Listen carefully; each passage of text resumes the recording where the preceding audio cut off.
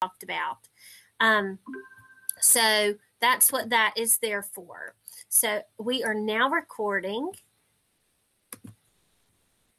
And I wanted to start off with my why. And if you've been to one of my sessions, I always start off with the why because it's so important for us to have a purpose. And um, my Would Your Students Show Up If They Didn't Have to by Dave Burgess author of Teach Like a Pirate. This is in his book. It's a, a common theme in his in his stuff, and that's how I feel. I, I it really resonated with me, and I think about my two children, and I want them to love school. And the school that I grew up in was great for me in the 1980s and 90s. Okay, it was wonderful for me then, but if my children were to have to go to that school, my children now have to do that very same thing it would be an injustice to them and they would probably redecorate the place, not in a good way, okay? Um, and so I think about where I grew up and how I grew up with with school and learning and how that's not programmed for my children. Okay? So I am on a mission to make learning fun and a happy in schools a really happy place and you know for the most part they really are. But you know we really got to sit with this question would your students show up if they didn't have to last year during the pandemic? Because guess what? They really didn't have to and some of them didn't. So I hope that you have taken that valuable time to evaluate and not point fingers or anything like that, but kind of reflect and go, why didn't they show up? What could we have done differently? So, this has been my first slide for many presentations for several years now, but it is more meaningful than ever. So, that is my why.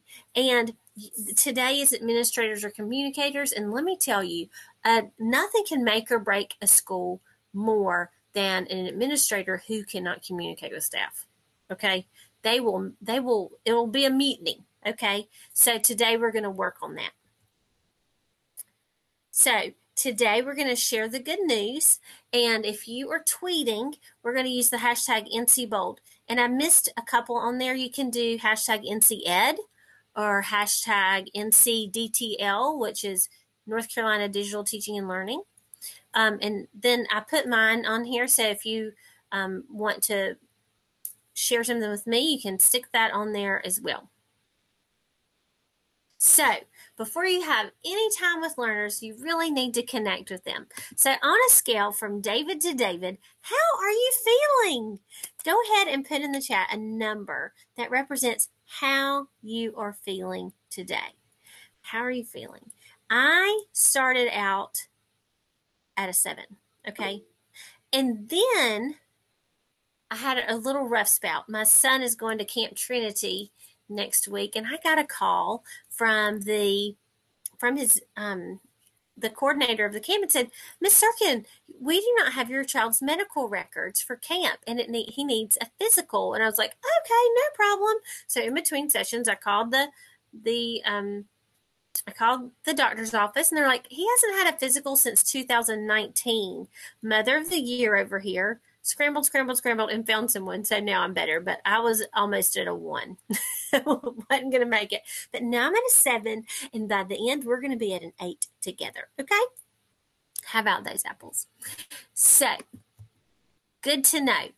We are going, let's look at your standards. Now, hang with me for this a little bit because I know that you know your standards, but I want you to look at your standards through the eyes of communication. Okay, so you've seen these for these are your digital learning competencies competencies for administrators. And we're going to look at each one. And it might be a little painful because you've seen them before, but I just want you to look at them briefly and think about them through the lens of communication, where that skill will come in handy. Okay, so we're going to start with content and instruction. I just want you to look at it and then put in the chat where do you see communication and i promise you i'm going to take you somewhere after this but right now i want you to, to have a little reflection time with your with your deal standards where do you see where do you see communication where do you where can you read between the lines and see communication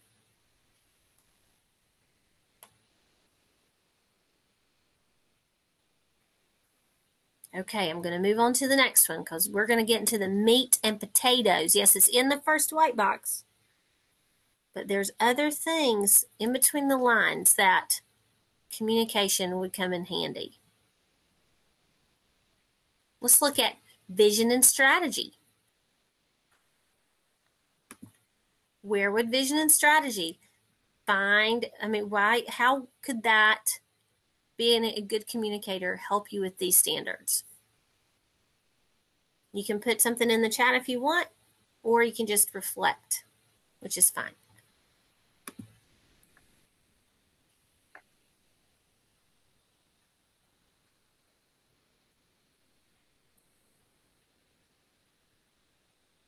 All right, moving on to the next one. Human capacity and culture. where do you see communication? Where is communication so important?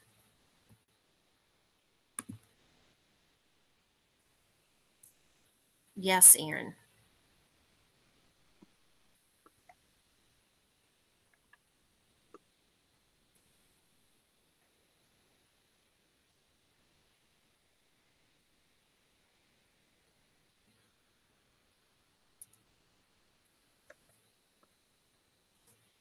Thanks, Daniel.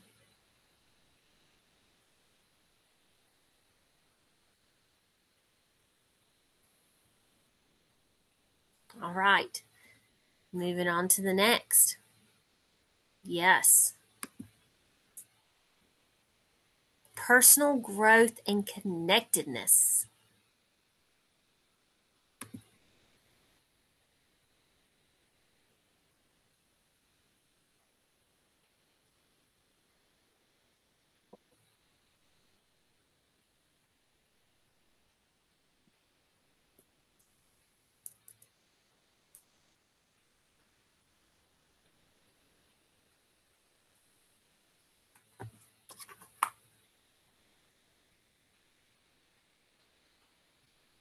Okay, we're going to go for the last one. Community.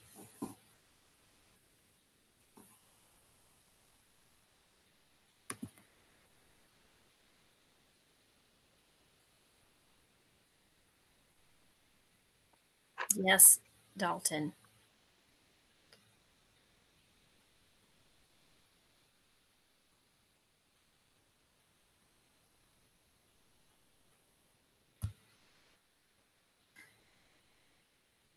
Okay, so you saw the word communicate in several pieces, but there are also other words for that were synonymous with good communication.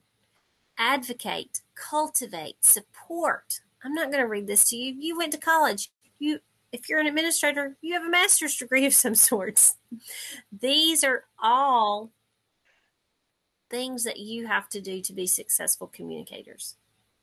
And it's built in and they use some great words. But we're going to put those words into action. Okay? So, back when I was in school and learning how to communicate in the in my technology classes and George George's name is co- covered up here. But um, look at that memorandum. Look at that. It doesn't matter what it says right? It's in a different language, but that doesn't matter because it's boring, right? If you look at that, it's not going to grab your attention quite as much as what it should because communication looks different than it did back then. This is what communication looks like, right? All different forms, so many different ways. They talk about you need five different streams of income. Well, we communicate in way more streams than that. Okay. So I want you to look at this this hexagonal diagram of how connected we are more than ever in all the different ways that we can communicate with each other and have that really and build those really rich relationships because you and I both know that that is the foundation for a good school is strong relationships. So, what is the main form of communication in your school? Go ahead and just let us know. Put it in the chat. Put it in the chat. And you can think about communication with teachers, parents, students, the community, your boss, whatever.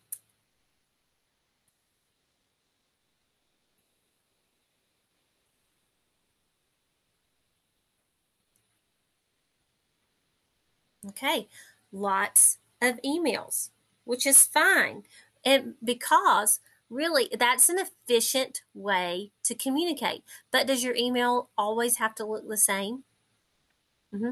Oh, Daniel, how how many people do you have in your in your small school?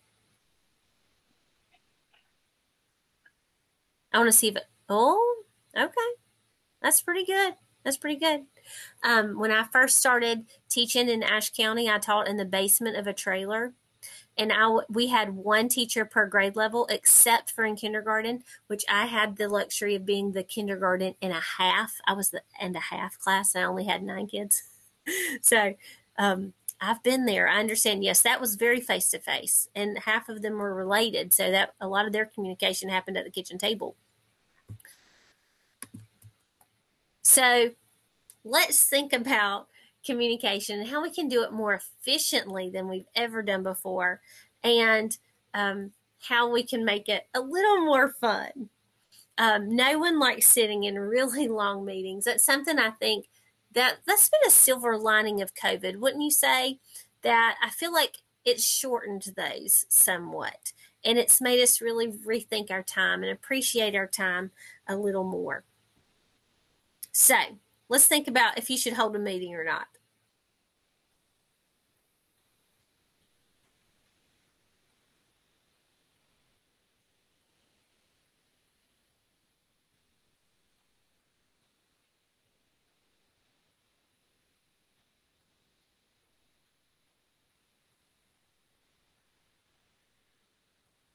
It's a pretty good flow, right?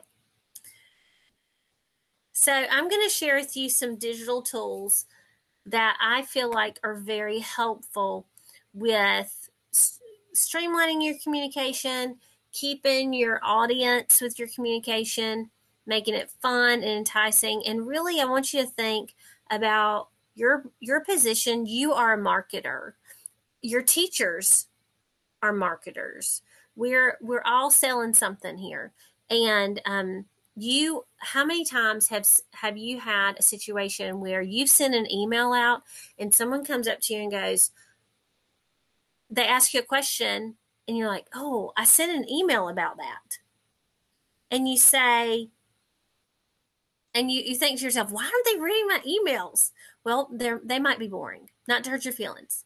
Yes never hold a meeting unless you need all those people in the same place at the same time to do something they need to be together to do. Yes that's the truth but um, so many times, and I find myself sending out an email here and there, and people will ask me something. I'm thinking, I sent that in an email, and it can really get you.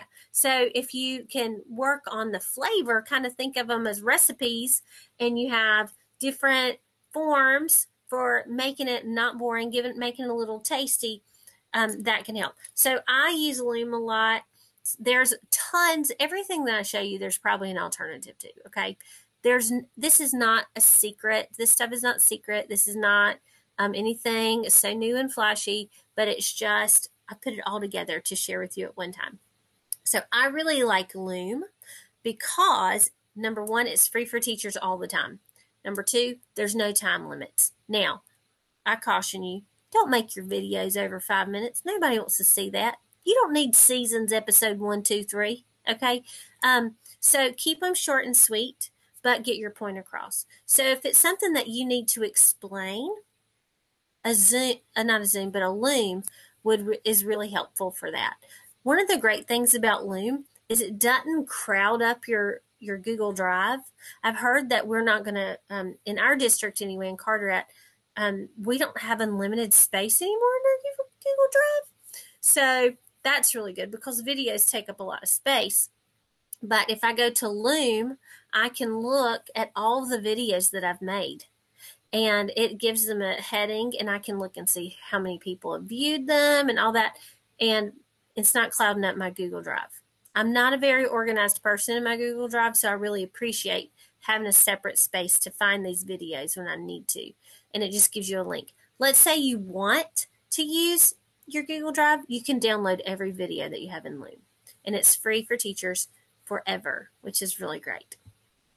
How many of you guys use Loom or what do you use as a video platform for you to communicate? You can turn your mic off or you can throw it in the in the chat.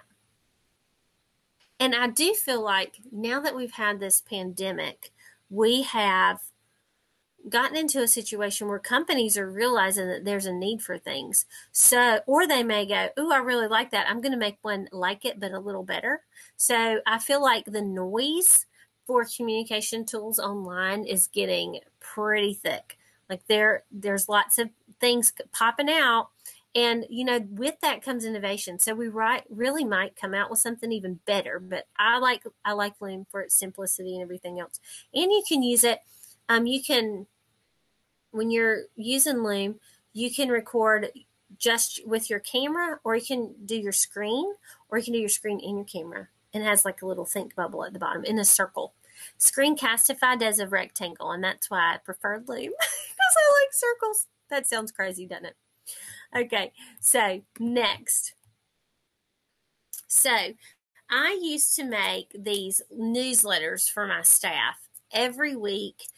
Um, and they were they were beautiful. I spent forever on them. I'd bring it home and work on it at night, and I'd spend forever on these newsletters. And then, um, someone said, and I really appreciated their honesty.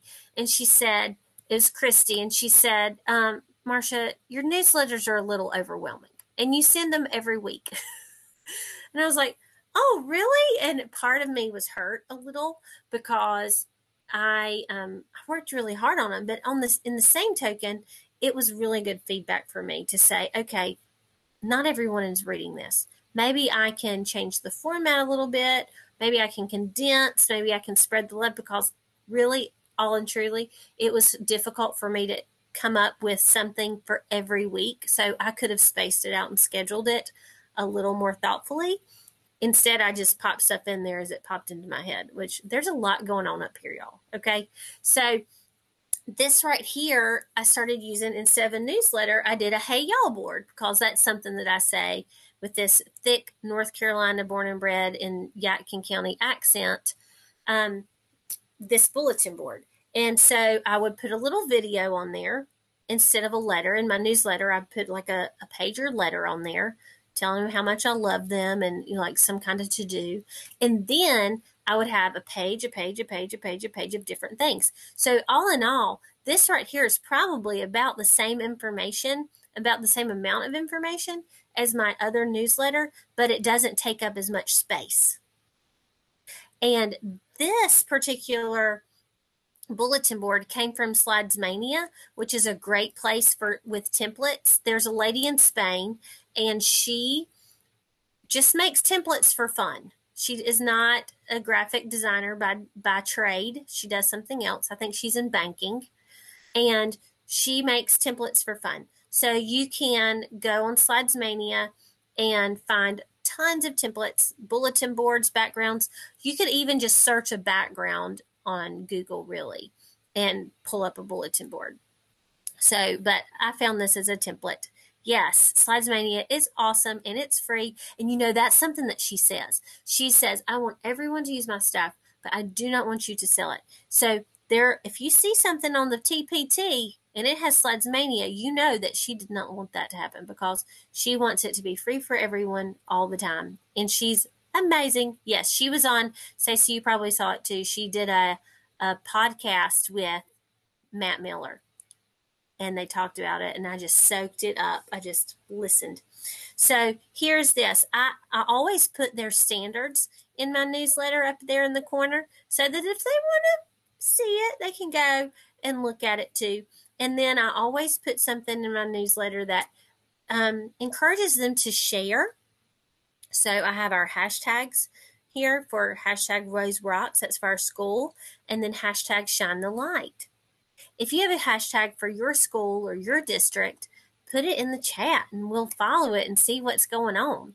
A hashtag is just a great way to organize um, your post. So I can go now on Facebook. We do a lot of Facebook for our school.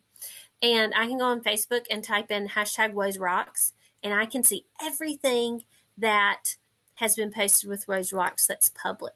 We encourage our parents to use the hashtag Rose Rocks, our teachers, everybody. And even like when we're just when a parent or a kid will say something that they've that they've accomplished and they're really proud, they're like hashtag Rose Rocks. So it's kind of like it's just a feeling. So we we've really developed that in a good way. So in my little video, I also put in a little meaning behind the link so that they just don't see a bunch of pictures. I'll say, look here for this, look here for this, kind of like the SNL marble columns. Look at this one, look at this one. So that's where we're going. Good. I like your hashtags. Max Awesome. That's great. Okay, so one of the really neat things about that particular newsletter that I put on the Hey Y'all board is I make it in Google Slides. Okay. So when you use Google Slides, you can track who sees your stuff. Not to be nosy, but it gives you a sense of, okay, someone's looking at this, someone's using it. Um, this is helpful. This is being revisited. So you go to tools and then the activity tracker. And then when you click on the activity tracker, it will give you trends that you can look at. So I can see from this one right here that it was looked at a lot on May 26th, and then people are revisiting it.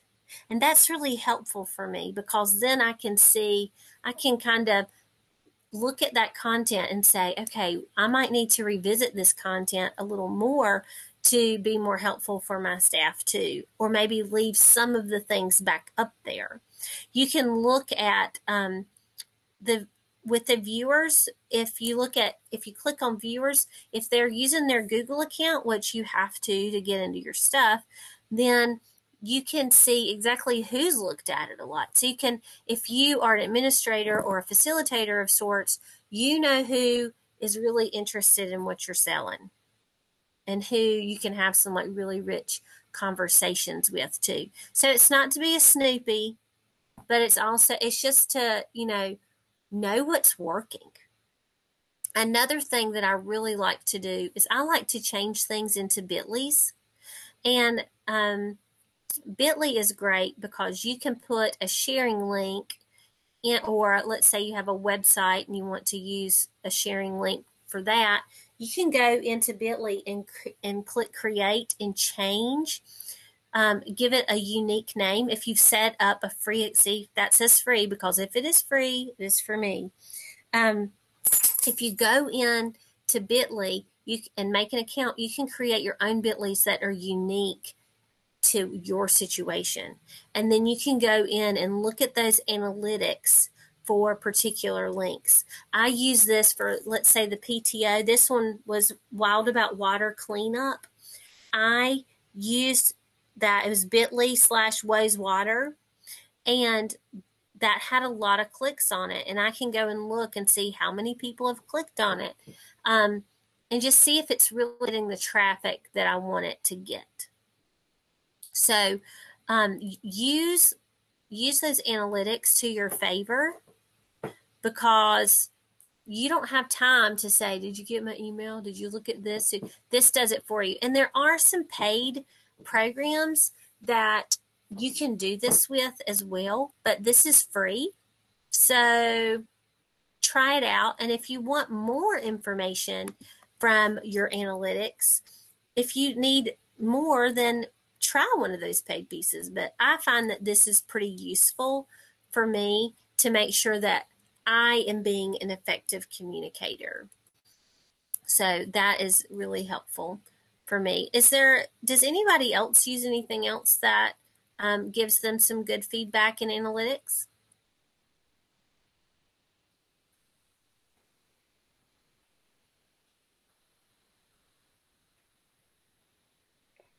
I know. Used, Go ahead. I used Bitly from the beginning and never had any reason to change from it. So it's been great. Mm-hmm. Yeah. I really wanted to do Smore. I really wanted to really um, use that, but I just, I was like, ah, it's really pretty, but I can use what I have and, and, um, be fine. I don't need to need, know anymore. Now, if I were monetizing everything, maybe I would need to know a little more. All right. So let's look. These are two pieces of information. The same piece of information. Okay.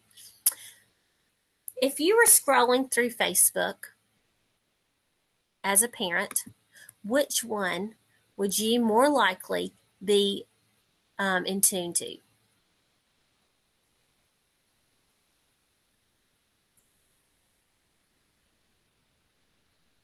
The right one. Um, and I promise you that the color on the right one wasn't as light. Sometimes when you do screenshots, it kind of takes itself a little a little further, but it takes and segment it, segments the amount of information into sh- short little snippets, but also it's pretty. It's visually um, appeasing. So these are the same types of information, and we um, we have several, we have a couple of people on our social media account, and one person did it this way, and another did it the other. And the one with the color got eight times as many clicks as the other thing. So, and comments. So, it's definitely important to make sure that your stuff is appealing. We, so we're going to talk about that a little bit and go through some of your design. And some of you are probably, a lot of people are already using this stuff. Again, I'm not selling you any magic. I'm just putting it together for you to think about. Um, this right here is from the Urban Institute. I am in a data class right now that I have a love-hate relationship with. Um, but this really popped out to me. We were studying research papers and what they call the dusty shelf report, and how people will pour all their hearts and minds into these research papers and then they they get published and they get put in a book in a library and they never get touched again. And um, this piece from the Urban Institute um, came up in one of our sessions and it just really spoke to me. Um, different types of mediums give you different amounts of audience. And look at social media there. And I would be interested to see if we could see what this looks like when it comes to images, videos, and I'm sure it's out there. I just haven't seen it. Um, like what types of social media reaches the largest audience. But this really spoke to me, and I felt like I needed to share it. But it's from the Urban Institute and just says, you know, this is how you meet your people, this is how you get the people. So, with social media, you do not, it used to be if you wanted something to look decent, you had to really work hard and you had to spend a long time on it. But now there are so many great free digital tools out there that really take the cake and you don't it, it's silly to spend a forever amount of time on your designs and on your stuff. So that one white oak piece that was colorful was created in canva. And it's my best friend. I love canva. I love it. And with canva as an educator if you have the educator that um, educator email, you get the premium. with um, with Canva. So, is there anybody that would like? I, I wasn't sure with this crowd if you would want to kind of see a little more of Canva or if you've been there, done that. So, speak up if you would like to see some more Canva, if you would like to see how this works.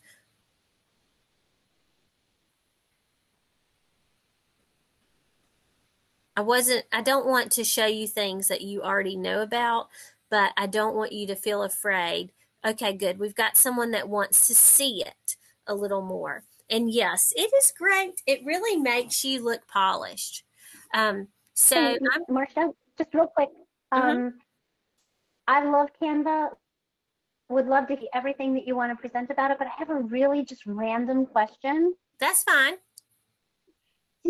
what did you submit to them for, to get the educator account? Because I sent them something under my Catawba Schools, you know, as a Catawba Schools person, mm-hmm. and they rejected me. I was really? Like, yeah. Huh. I, you know, I did it like two years ago, so I don't know what I put in there just, that that made it more acceptable. Hmm. I don't know. I don't. I you know I, I have my badge and um, I, I did it one time, and I can't even remember what I sent in. And then I got busy, and I've just kind of been making do with you know the free account. The free account is great, like, like mm-hmm. what you just get for free. But I would like to you know try it again, um, right. because every once in a while you want that free little gra- or that you know you know graphic that's got the little crown on it, or mm-hmm. you know mm-hmm. something you know with a little bit of extra pizzazz. And right. Um, and a lot of their animated pieces um, require the free, not the require the extra now.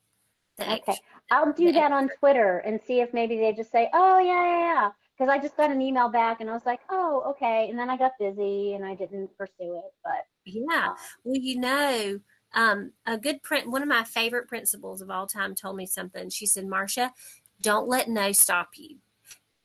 You're maybe you're just not asking the question the right way. so ask the question a different way. I know, way. and it's just it's meant to. Yeah, and you're you don't have time. Right. You know, your time is valuable.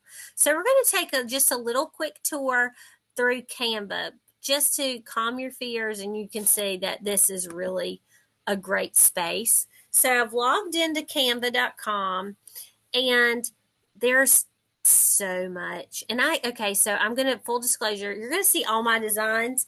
And I have, I'm very involved in my church. So I have a lot of church things on here too.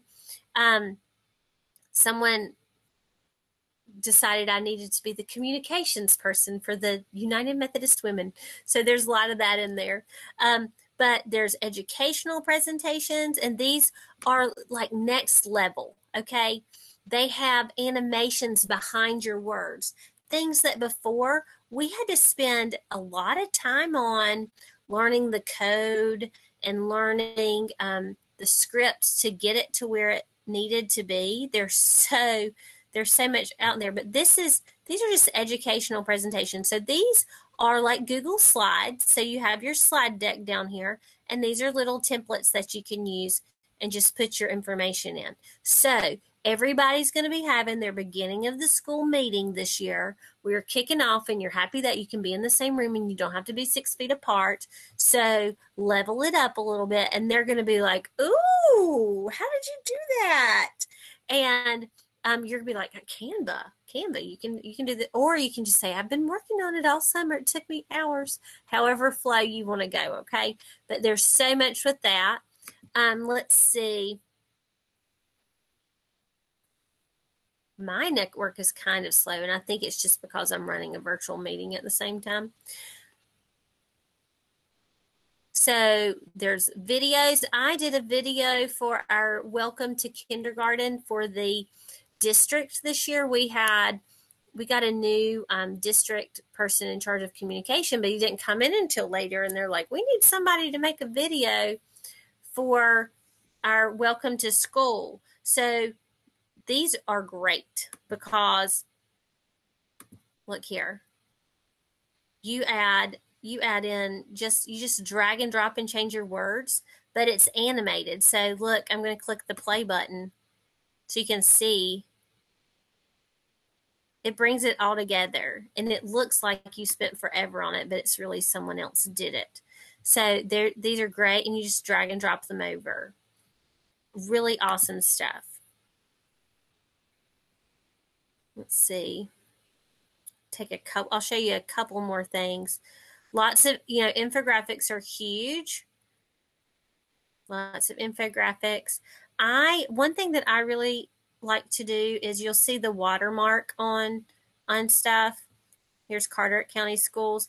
I like to get a watermark for our school and for our district, and I put that information, I put that on there so they know it's official. So there's our kindergarten registration picture. But you can really, here's Stuff the Bus. We're about to have a great time with that um, for our district. Really fun stuff, but it just gets it out there. Plus, also, you can send one image instead of typing up all the information. So now one image, you can put it on your website, you can put it in email, you can put it on your social media, you can put it, um, you can print a card and put it in the mail. So many things with one image that you make on Canva instead of creating it five or six different ways in different times. So I've really found that helpful. Now I'm not I'm not a worksheet fan, but I'm going to show you this and know that you will use this for good and not evil. Um, they have their place. Oh, look, that's something completely different. There is there are templates in here that have like there's worksheets, but lesson planning worksheets, certificates, bookmarks, schedules, all sorts of things that you can have and put together and it's not boring. There's some more, made some of these. So let's look at science.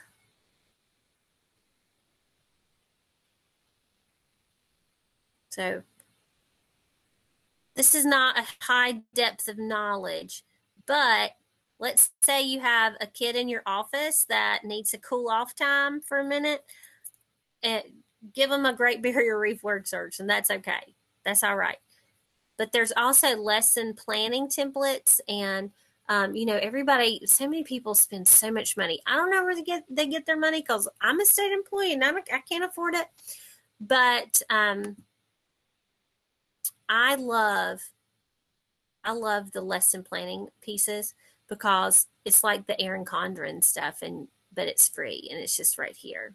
So that's really cool. So let's click here. There's so much in Canva. That's awesome. And you have brand kits here. And what that is, is let's say you want to stick to a certain color scheme in certain stationery. They have kits that look like, like, look at these two things it's two different things, but they have the same theme going on. You can do that um, with those. So they've got some cool stuff in there. Check it out. It's free. You get the premium if they're not saying no these days. Um, I love it. I love it, love it, love it. Want some more of it. And I another thing that's really cool about Canva, I don't know if you knew this, but with Canva, you can use it on your phone too. So sometimes I'll have to go in and edit something. I can do that on my phone, which is pretty neat. Here's some examples of how we've used Canva. This is I um, was having PD for the for the day on one of our work days, and I could have easily just gave them a list or sent them a video on my on my news board, my Hey Y'all board, but instead I it looked like an invitation. My teachers love invitations. Um, so here were these sessions. Um, and then for Flex Week, we sent this out on our social media on different things that they could do on Flex Week. Another one that is, I feel like it's just as good, but it hasn't gotten as much attention as Canva, is Adobe Spark. And if you are an Adobe Photoshop fan, Adobe Spark is for you because it has a lot of those extra little quirks that you can do with your photos um, as you put them in your documents and communication pieces. But it, I mean, it's just as good as Canvas, as Canva. It is definitely better than Canvas, but it's it's just as good as Canva. Does anybody, or do we have any big Adobe Spark fans in here?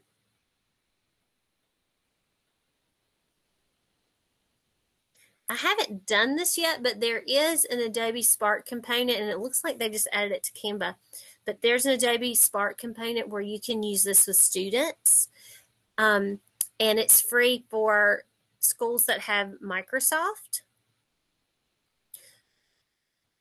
you have to talk to your district about getting that um, getting everybody like all the users and stuff loaded in there but um, adobe spark is really cool for that you can put kids in there and give them opportunities to be creative and work on being a good communicator too we've raised generations of people who are not good communicators and i think that's that's a problem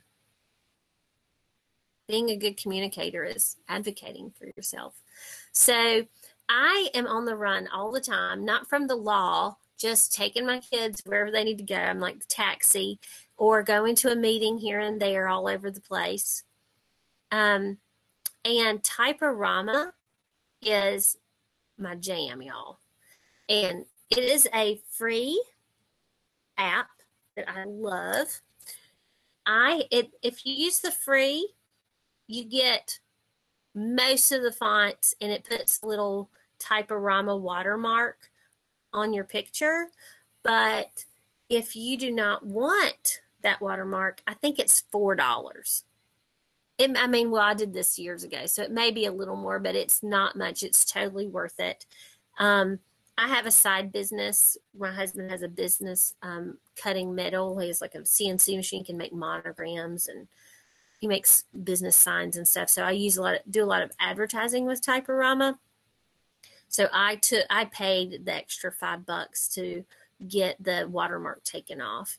But Typorama is a little app, and you you don't you do not have to do any of the designing. Okay, you just type in what you want to say, and then you pick a font, and it makes it look fun like that. You see where it says "life life is too short to wait," and it looks like it's been written in the sky it does that for you. You don't have to make it look like that. It just does it. It's magic.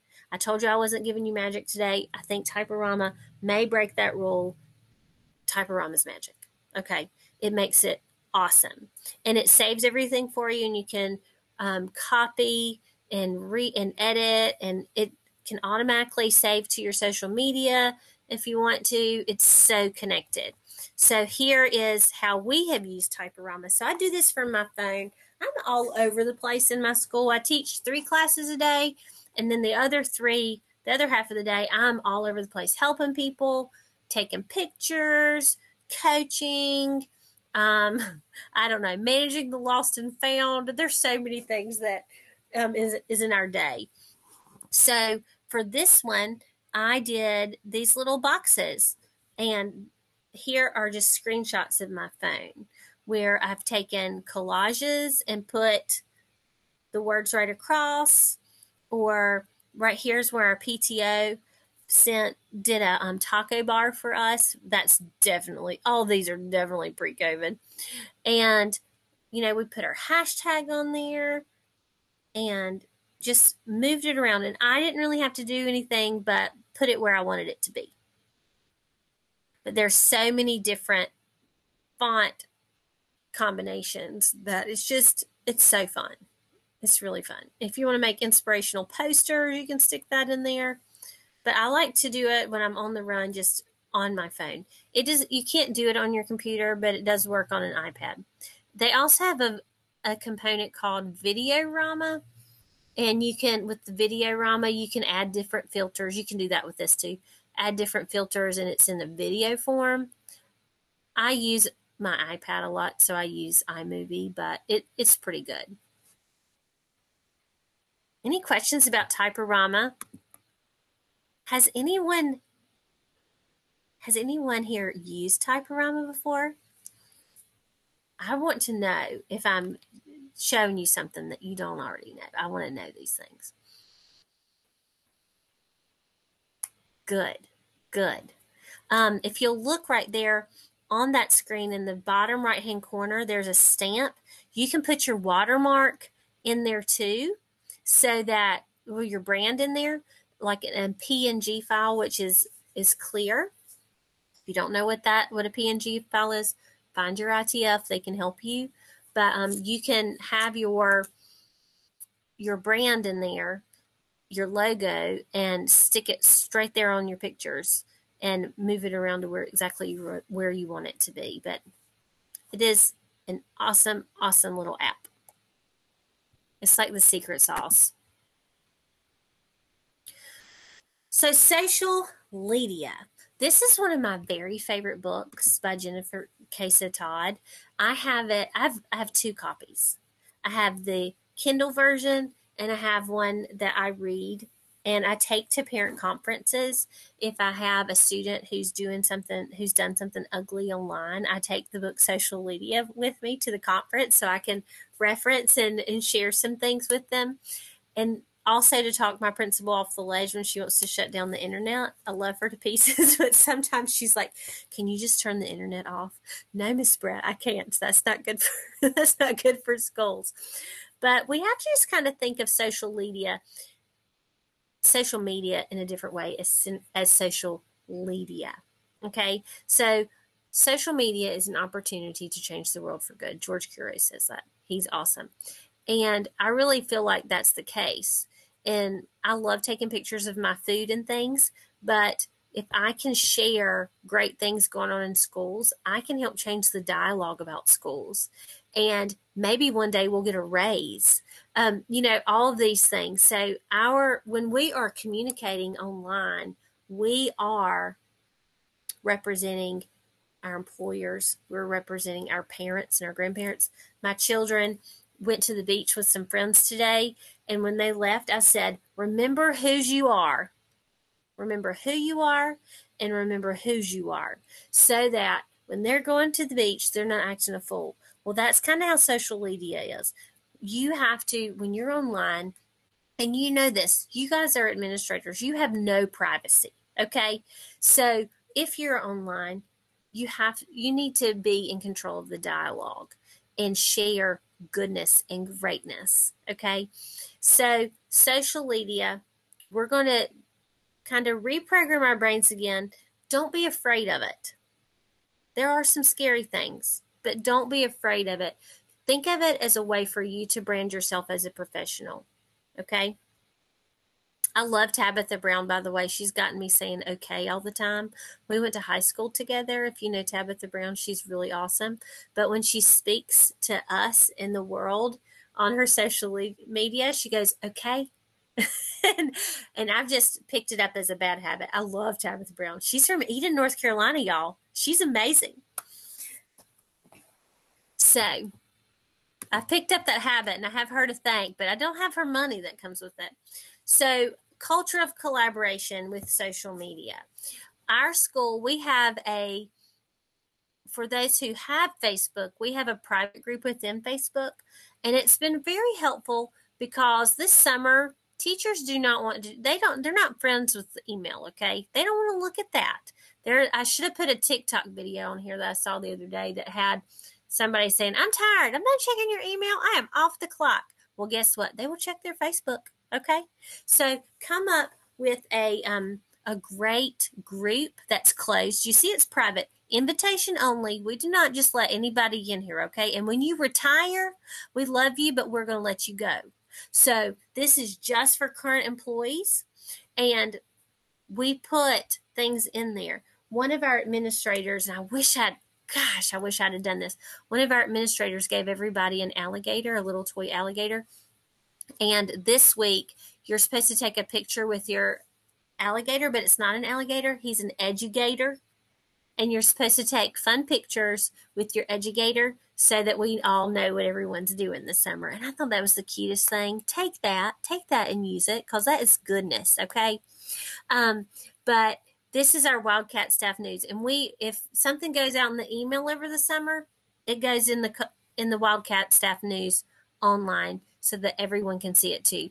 But it goes email, it goes Wildcat Staff News. If people don't have social media, you know, you can't lead a horse, you can lead a horse to water. I understand. Um, everybody has their reason and that's their business, but this is a great place for people to share too. Okay, so think about professional growth. Now, I've this is my fourth session. Okay. Maybe fifth. I think it's my fifth, but I repeated one. And every session I go, How many of you are on Twitter? I want to follow you. I want to learn it. And I would say 75 to 80% are not on Twitter. And let me tell you, you are missing out. You're missing out. Now, it takes a little time, but your return on investment is so much more. Okay. So Twitter is is a great place for professional growth, but it's also a great another great avenue for you to share the goodness of what is going on in your school. Something that we always say when we are in schools, we say, what if you could have anything more, if you could have more of anything, what would it be?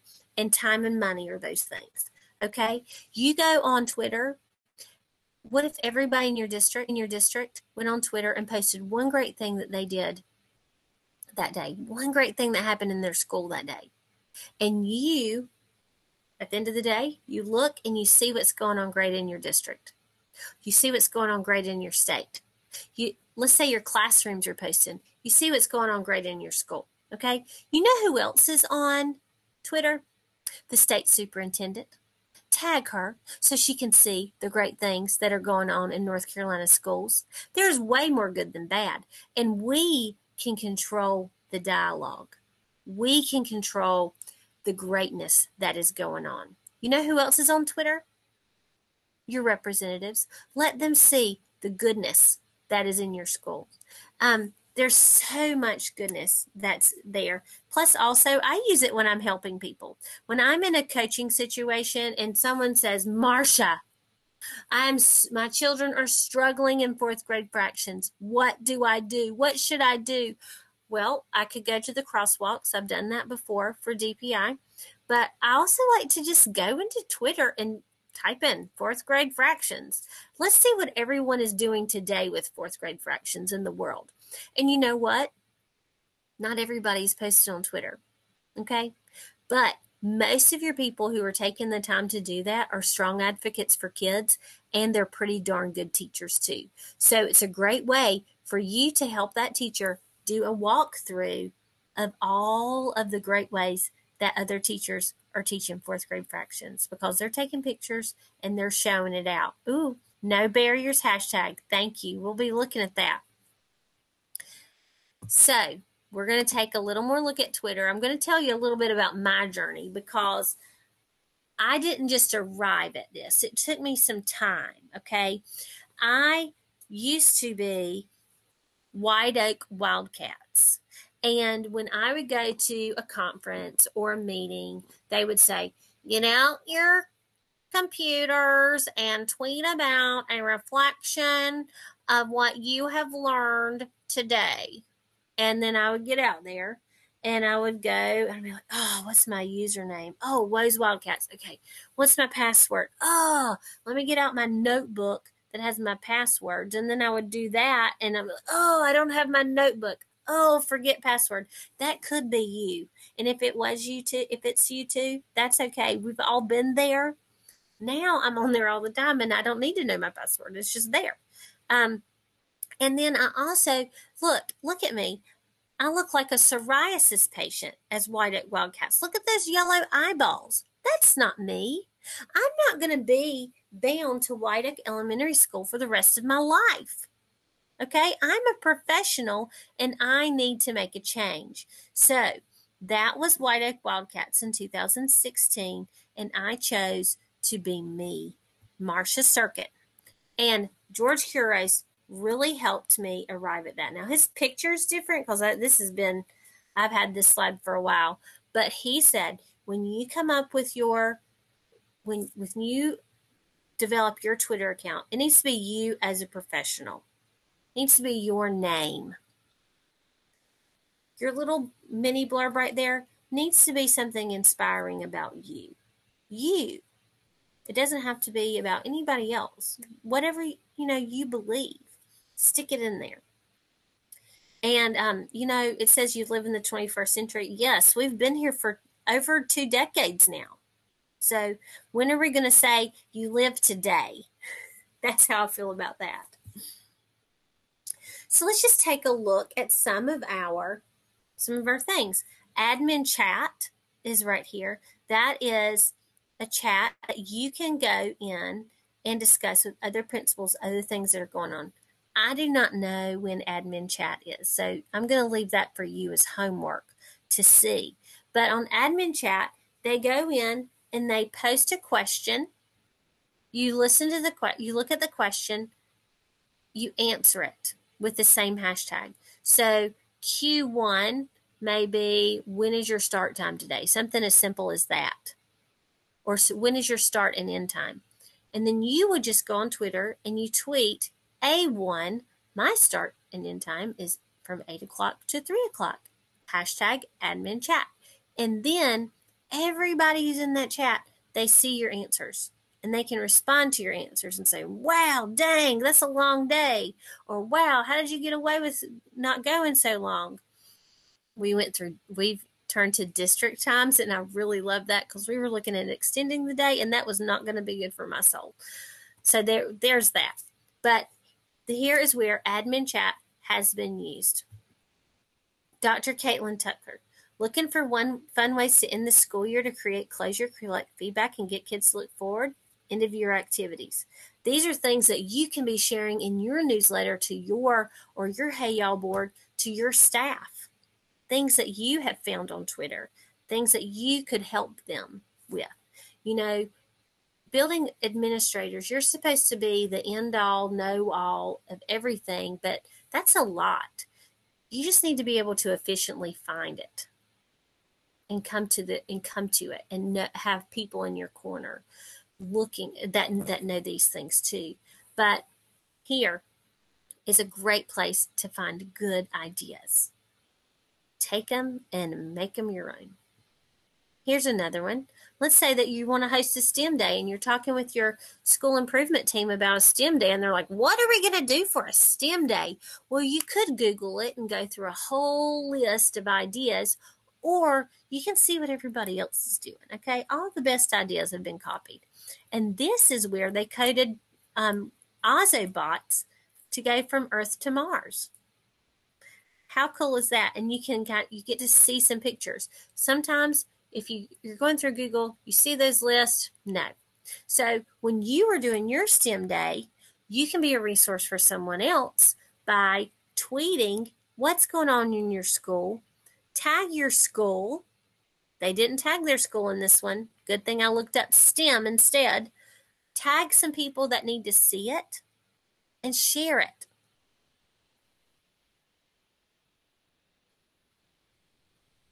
Okay, here, let's say that, you know, you I'm really bad about I'll hear what other schools are doing after the fact and I'll be like, "Oh my gosh, I want to do that." Or I'll be in a I'll get in a lull where it's rained for 40 days and 40 nights and like, "Uh, when the sun comes out, we're going to do something fun." So you can look up, you can look on look on Twitter and see what people are doing. That's great outside. This is part of the STEM day that I looked up. But a water rocket challenge I have never had a water rocket challenge in my school, but guess what? If I wanted to, I would know exactly who to message to find out how they did it, what they did, how much it cost, and if they would ever do it again. It's like having a ticket to Mount Olympus. And you might be that Mount Olympus for somebody else. So, share your greatness. Again, I believe in North Carolina public education. There are so many great things going on. There are so many great teachers in our buildings, and the world needs to know. We need to control the dialogue here.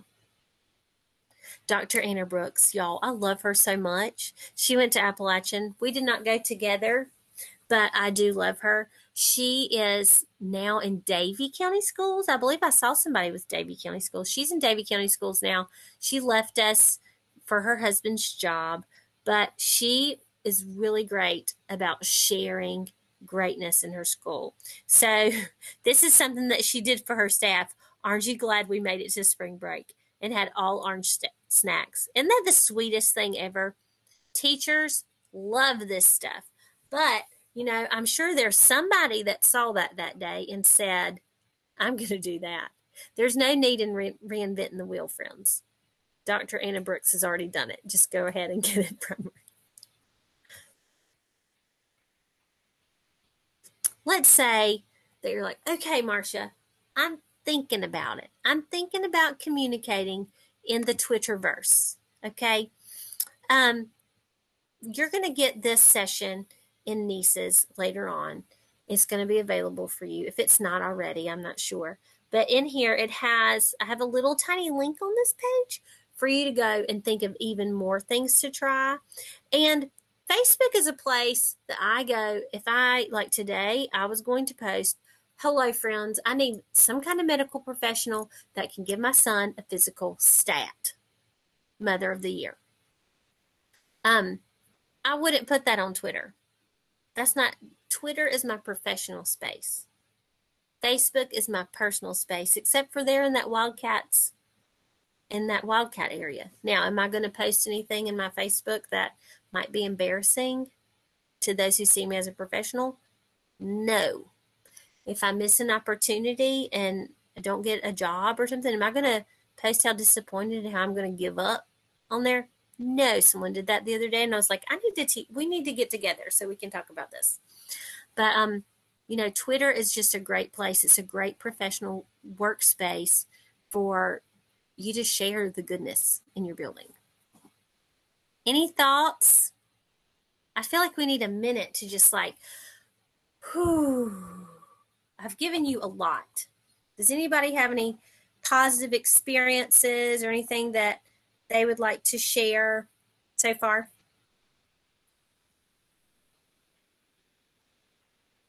You're like, no, Marsha, it's Friday. It's basically Friday. I'm a state employee and I get Fridays off. So I hear you. I hear you. We're going to move on. Twitter has changed the way I teach. Yes. Yes. Across the country, across the world, Dalton, across the world. Okay, so I'm going to give a plug for this because we are now on this great journey with the state that I really feel like needs more real estate in our minds. So we are great communicators, and you guys are always planning PD and putting presentations together. Or let's say you go somewhere and you go to a presentation and you think, I want to do that. Or you see a form somewhere that, or a, a infographic somewhere that you really like, and you're like, ooh, I wonder if they if they would let me borrow that and use it. And then you have to go search for who led the presentation, or you want to you have to search who for led the meeting, email them, ask them. Then they have to go through 50 acts of Congress to find it and email it back to you if they can remember because they're so busy. Or we can just all agree that we're going to post things on goopen.com when we create great things, when we make great documents and we make great presentations and infographics, and when our teachers have great lesson plans. Let's just agree that we're going to post them on here. Um, I feel like Go Open hasn't gotten the real estate that it deserves because, you know, we had Hurricane Florence and it really stunk. And then we had the COVID and that really redirected our thinking and we went into emergency remote learning um, but now it's time we're taking our masks off and we need to think go open north carolina for you guys if you are not aware is an open educational resource for North Carolina educators. And it is, I hate to say the word teachers pay teachers. Don't think that. Um, I mean, there's some quality stuff on there, but some of it is not so great. This stuff I'm going to open right here. This is for North Carolina teachers. You can make it standards aligned if it's for children. And then let's say that someone finds something on Go Open that they really like, but they want to tweak it just a little bit. That's okay. If the author's giving you permission, they're going to go ahead and have it to where you can do so. And you can do what we call remixing. And you can remix what they have already done. And it also already it gives them the credit that they deserve the parts that they did. And then you can also, if you find a dud, you can leave a review. If you see something really great, you can leave a review. It is an awesome space and it just it it needs us. It needs us to put our greatness in there. We just did a um a session, not a session. We just got a grant with DPI. It was a planning grant and we did a book study on the distance learning playbook and we had four sessions with teachers talking about distance learning and not just like virtual learning, but just looking at the situation and thinking, okay, how can we apply this to face to face instruction? And if we had to do this like virtual learning, how could we make that even better too? So it was a great, great opportunity. And we took every session that we had with those folks and we put it on Go Open. And every session they had half a day to plan a unit. And guess what? Those are our exemplar teachers, and they posted all their stuff on Go Open. These great units. So it's a great place to direct your teachers, but it's also a great place to put your stuff so that you can share it with others and to find things. Um, you know, we have we're in a very small district. Um, so sometimes we don't have the funding to create the things that the big guys have. So we can go and look and see what Rowan Salisbury's put in there and grab some of the things that we want to use. And they're fine with it. They go and put what we're permitted to do with it. So it's a great space to collaborate with people all over the state. And it just doesn't get the real estate that it deserves. So I needed to give you some time with it. So that is Go Open. In the essence of time, we're not going to dig into this, but just know that you can access it through your rapid identity. So, the smartest person in the room is the room. I've done a lot of talking, and I don't like to do a lot of talking all the time. I like to give you time to to discuss and everything like that. And I've had a few sessions like that today, but today I just needed to get it all out to you, um, so you can take some time. But these are some great people in North Carolina that are. Um, I put let's see, we have Hamish Brewer. If you don't know him, you need to follow him on Twitter. He's amazing. I put Pinto Beans on here and Carrie because, and they're right aligned with each other. I put them on there because they are very young teachers that are doing amazing things. Okay. So when I am looking at STEM, I look and see what Carrie's posting because she's got some great stuff. Um, Pinto Beans her name is Christine Pinto, but she is, I think, a sixth year teacher. And three years ago, she was the keynote speaker because she's a great communicator. She was the keynote speaker at ISTE. And she wrote a book about how kinders can. And she does lots of things with her kindergartners with Google, and she's amazing. And to hear her speak, it's just very, you're very lucky if you can hear her speak. Um, Jimmy Casas, ha, he has written so many great things about culture of schools. I've shared with you some Anna work. Dee Lanier has just really warmed my heart when it comes to equity and thinking through a different lens, thinking about education through a different lens that is better for everybody.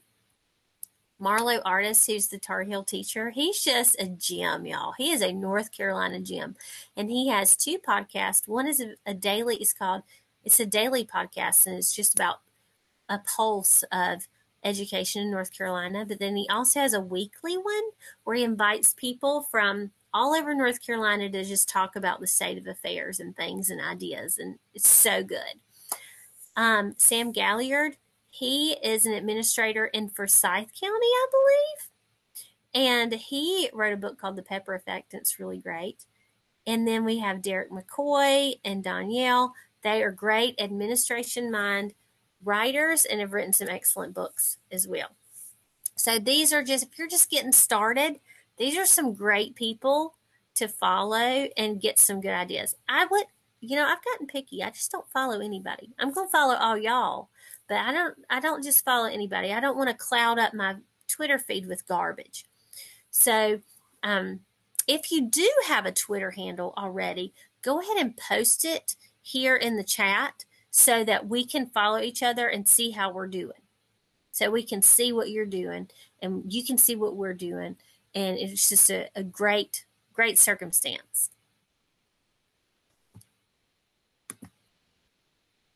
All right, to be a master educator, you must be a master learner. So, here are some great books that I have been reading lately, and I, I keep them with me. EDU protocols fabulous. They just came out with three, with another one, the third version. Um, I put educational eye exam because it's written by my friend Alicia Ray, who's another North Carolina rock star. Jennifer LaGarde, another North Carolina rock star, but she's moved to Washington State, but we still love her.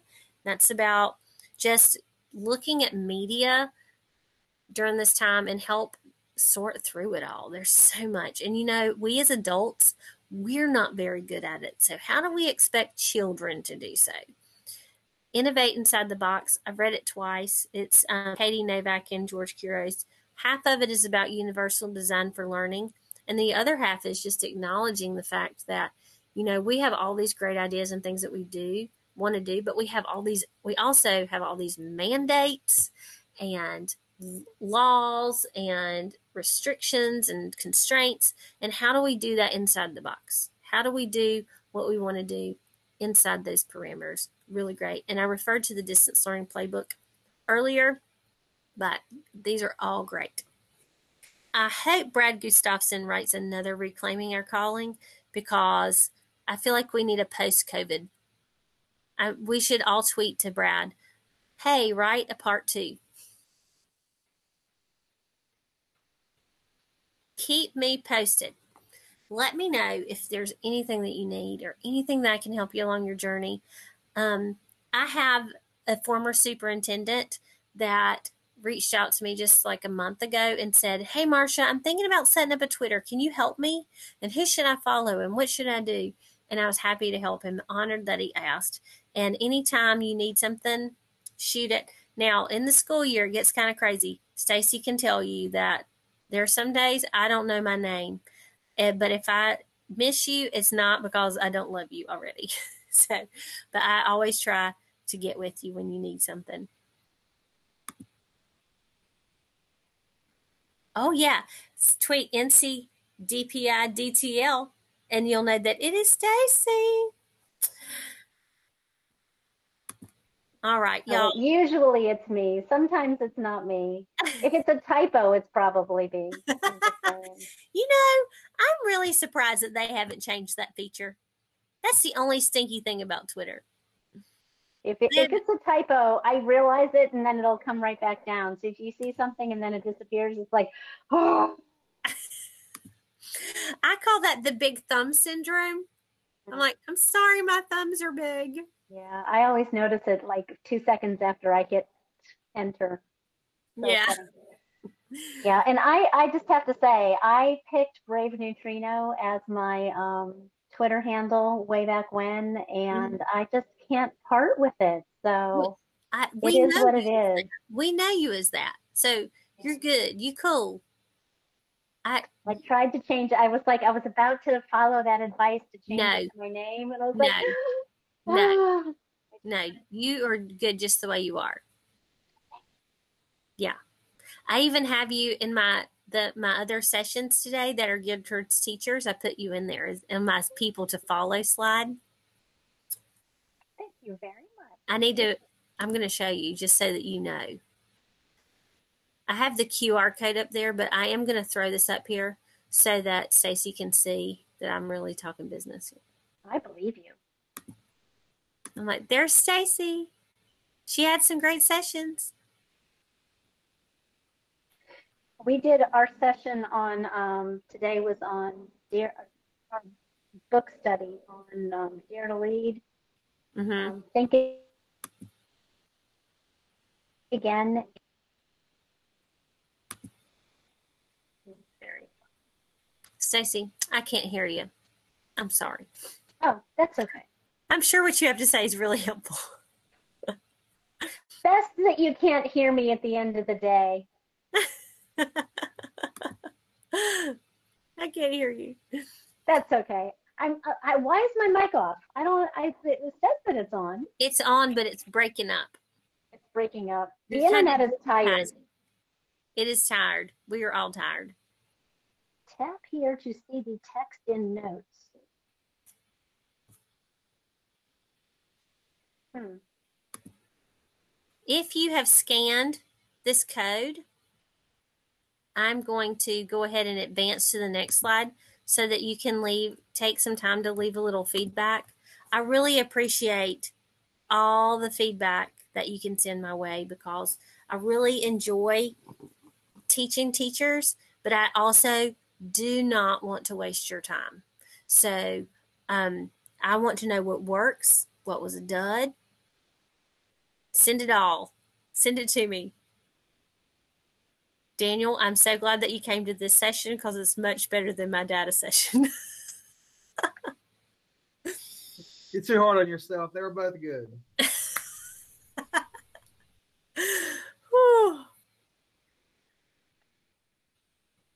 Thank you, Aaron. And I'm going to stick your stuff on.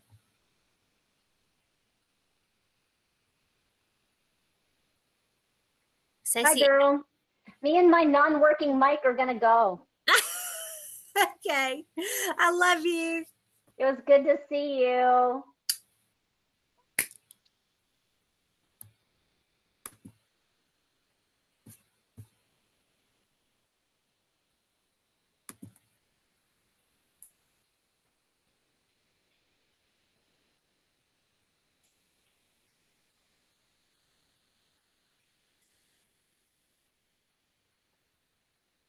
Could you please put the QR code back up? Yes, ma'am. Thank let me you. cop- let me copy this link real quick so I can stick it in the chat.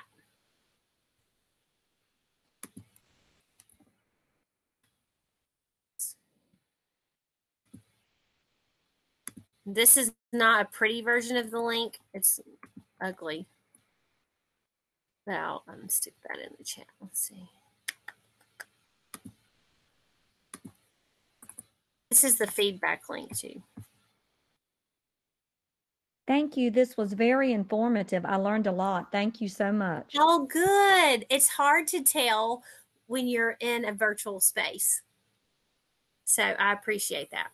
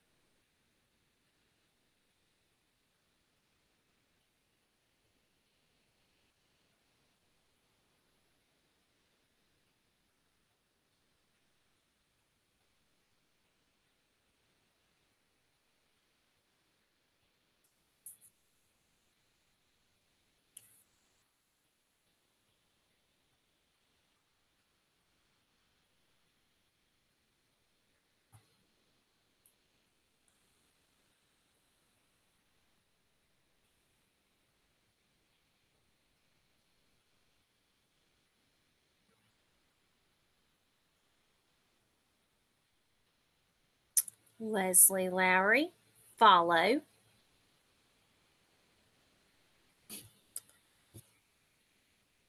Ooh, I like. Ooh, I like Dalton's name. Tedder Time. That could be a book.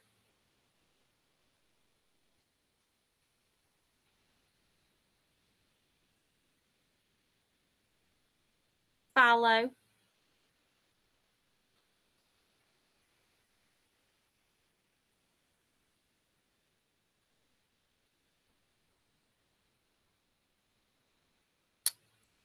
Follow Barnes principle.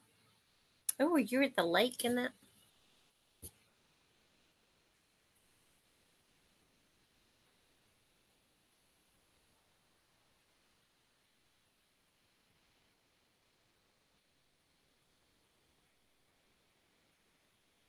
Dr. Aaron Manuel.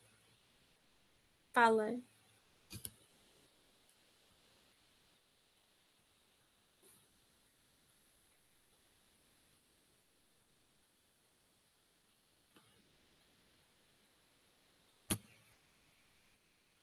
All right. Miss Valerie, do you need anything? We are going to stop